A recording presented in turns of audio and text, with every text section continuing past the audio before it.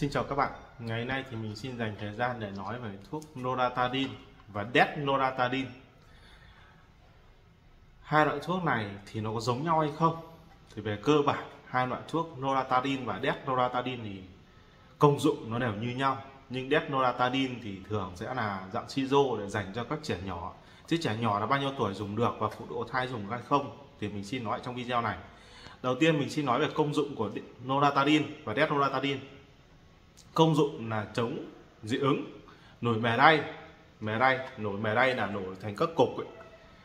dị ứng, sẩn ngứa, da, dị ứng, mẩn ngứa và viêm mũi, chảy nước mũi nhé. Thì loratadin sẽ điều trị đó đó là công dụng. Còn bây giờ mình xin nói về loratadin dạng viên trước này. Loratadin dạng viên này thì đối với một người lớn trên 12 tuổi người lớn và trẻ em trên 12 tuổi thì mỗi lần dùng 1 đến 2 viên một lần ngày uống 1 đến 2 lần nhé đó. Còn đối với Sizo thì nó là trẻ nhỏ mà từ 1 đến 6 tuổi thì dùng 2,5 ml còn 6 đến 12 tuổi thì dùng 5 ml. Còn trên 12 tuổi với người và người lớn thì là dùng 10 ml một lần đây desnoratadine bây giờ mình xin nói về cái noratadin có dùng cho phụ nữ có thai và cho con bú hay không. Thì mình xin nói luôn là noratadin thì không dùng cho phụ nữ có thai và phụ nữ cho con bú. Phụ nữ có thai thì cũng chưa ghi nhận trường hợp nào khi dùng noratadin ảnh hưởng đến mang thai, nhưng mà hết sức thận trọng nên là tốt nhất là các bạn không nên dùng.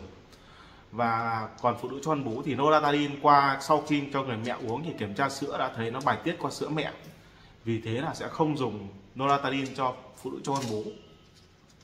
Còn desnoratadine thì khuyến nhiều khuyến cáo thì là một tuổi trở lên. Nhưng dưới một tuổi trẻ sơ sinh thì có dùng được không? Thì cũng tương tự như cái noratadin dùng cho noratadin dùng cho phụ nữ có thai đây, thì trẻ dưới một tuổi dùng desnoratadine này thì cũng chưa ghi nhận bất cứ một trường hợp nào có sức ảnh hưởng của desnoratadine với trẻ nhỏ. Nhưng mà khuyến cáo thì hết sức thận trọng khi dùng desloratadine cho trẻ dưới 1 tuổi. Vậy nên là các bạn mà muốn cho bé dưới 1 tuổi dùng thì nên cân nhắc nhé. Còn đây noratadine và desloratadine công dụng đều là điều trị dị ứng, mẩn ngứa, nổi mề đay và viêm mũi dị ứng, chảy nước mũi nhé. Và tác dụng phụ của thuốc noratadine và desloratadine là nó gây cho buồn ngủ hoa mắt, chóng mặt, đau đầu. Nên là không dùng cho những người mà làm việc trên cao, vận hành máy móc, lái xe đường dài, cần sự tỉnh táo thì hạn chế dùng noradapine nhé. Đây là hai loại thuốc. Desnoratadine này thì nó cũng có rất nhiều mẫu khác nhau. Nhưng mà các bạn các bạn đừng quen tên to, các bạn thì, các bạn đừng để ý cái tên biệt dược bên trên, tên to làm gì, các bác cứ nhìn tên bên dưới là Desnoratadine này. Đó thì nó là desloratadine chứ còn cái tên bên trên này, các bạn không, cái tên bên trên thì các bạn đừng đừng quá quan tâm thì các bạn để cái tên hoạt chất nhỏ bên dưới, nó có hàm lượng ấy.